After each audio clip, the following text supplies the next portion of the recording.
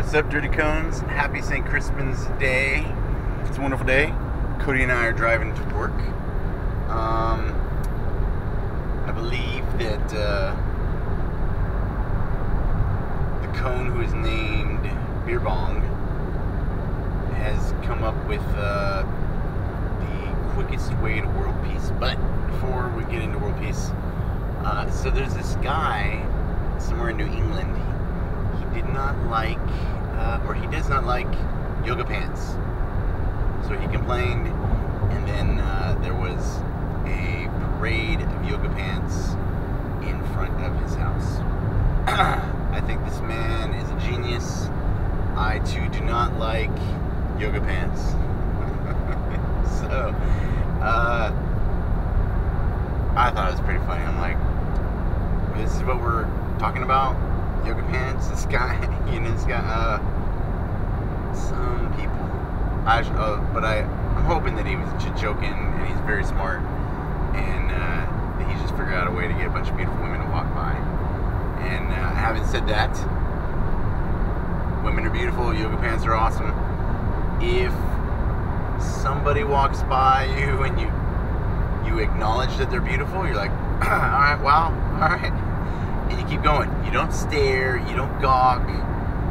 You know, freedom of speech is freedom to dress, freedom to not be oppressed, and the freedom to not be uh, visually raped. So you get one look, you acknowledge you're beautiful, and you keep going. So no staring, right? Because we're good people. Um, so this is this is the four-step way to world peace, as seen through the eyes of Conan Beer Bong, one who is known as Beer Bong. He's a beautiful cone too. He's eh, physically, mentally, spiritually. The dude has got it going on. He's going places. I have every faith in him that the Air Force should be a much better place having him in it.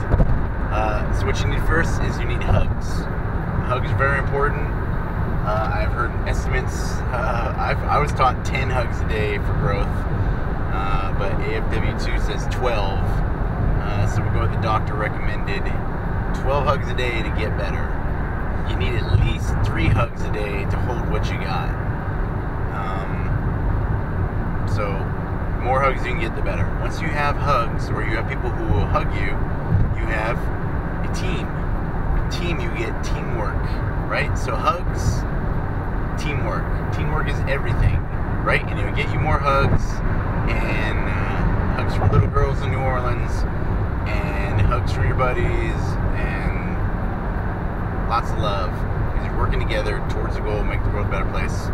Join a pararescue. Um, love and life, right? Once we have teamwork, then we can go get tacos, right? Because everybody loves tacos. If you're in St. Louis, I've said it before, check out that taco place. It is amazing. It's in strip mall, it's behind some bingo casino place, down the street from two hospitals of the same thing, but just across the street from each other, only separated by a highway, but two exactly the same different hospitals.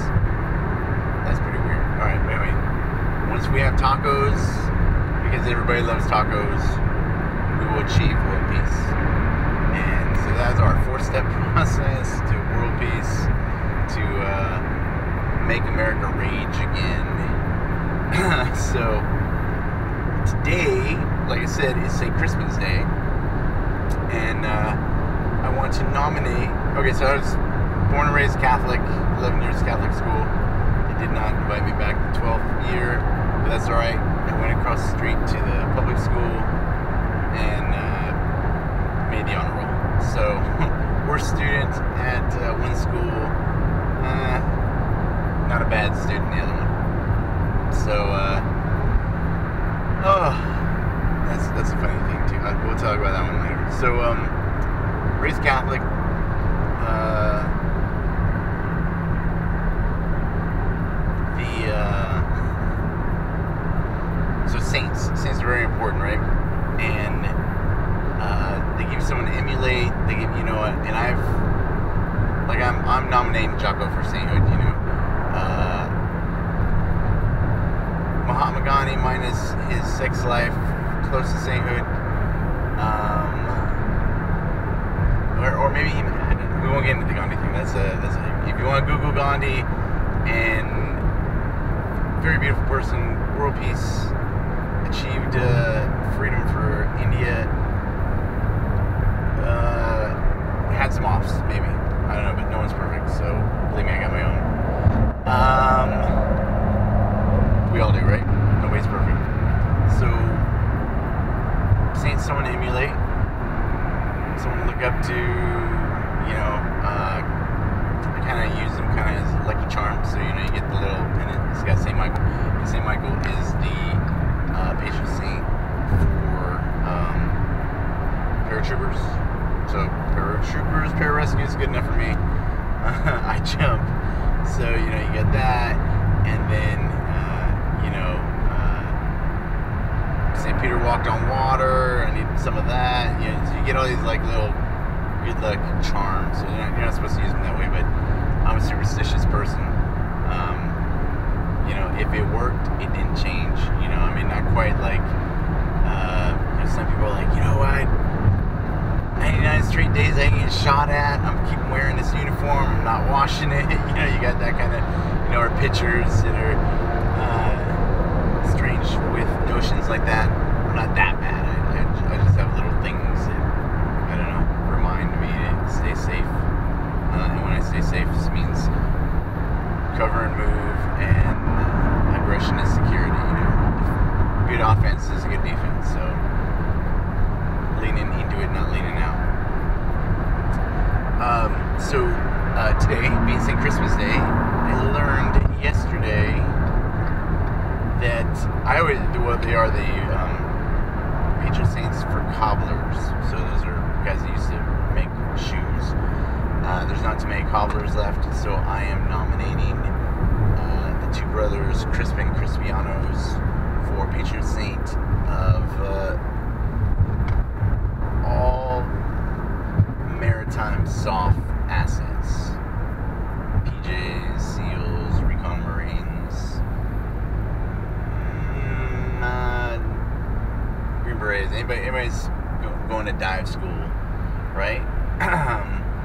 because so they were martyrs for the cause, and the first time they tried to kill them, they put uh, heavy weights around their neck, threw them in the water, and the brothers survived. So I'm gonna go with they were either treading or drown proofing, uh, or possibly just standing there. well, that all right. So they weren't standing there, but uh, somehow they survived, and that sounds like a big tough frogman, you know, or a PJ, or any other kind of guy that makes it through dive school because you are treading with weight. Maybe not that much, but uh, so there's my nomination. No more cobblers. Uh, the brothers Crispin Crispianos. Uh, if you get a chance, uh, watch Henry V. Uh, Jocko said to read it. Uh, I would love for you guys to read it, but I know a lot of you guys aren't readers. So, uh, audiobook, maybe. um, audiobook or watch a movie. Kenneth Branagh or um, oh man, Sir Laurence Olivier. so that's about it. Just wanted to share that with you guys. Hope everything's going well. Hope training's going well. Oh, uh, so the guys in New York, email me. I'll connect you. Uh, don't ask for last names on uh, on air. You know, just in case. I know people are like, but we, all know where you live. you know, it's like, eh. You know, I'm not worried. If if it comes shows up, comes shows up. Like it's it's not, you know. But I, I can't take the same liberty with other people. So no last names, and you know, email me if you got something HIPAA or you know otherwise. Um, there was one other thing, and then I totally blew it. Oh well, I'll think about it later.